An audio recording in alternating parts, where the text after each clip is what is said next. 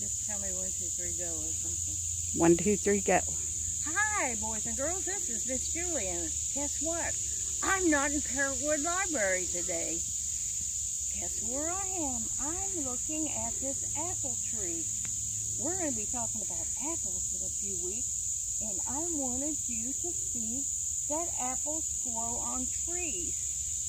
Now, the ones we get in the grocery store are all nice and shiny, and some of them are red and green and yellow. But they really do grow on trees.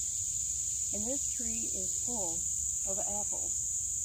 And they may not be as shiny as the one in the store, but I bet they taste just as good and juicy. And they fall off on the ground, the ground down here is just full of apples that have fallen off the tree.